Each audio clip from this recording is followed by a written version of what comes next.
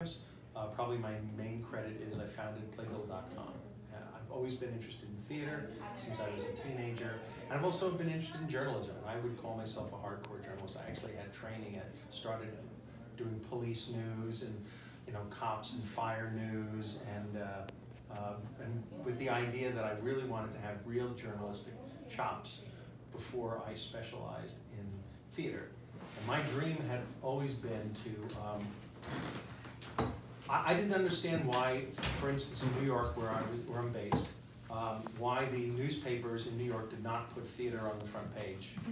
At the same, well, you laugh, but they put sports on the front page, they put business on the front page, they put politics on the front page.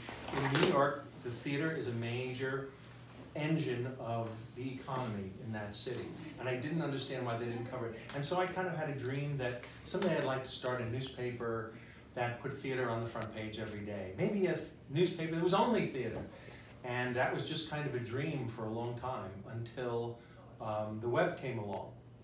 And when the web came along, suddenly I realized that I could create this daily newspaper of theater that did not rely on 12 year olds on bicycles to deliver it.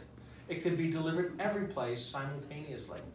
And so I, I got involved with that. And um, I've, over the years, I've also written uh, 19 books on the performing arts, including one in collaboration with uh, the lovely Lisa Wong right there. I also wrote one on, on golf. Don't ask me how that happened.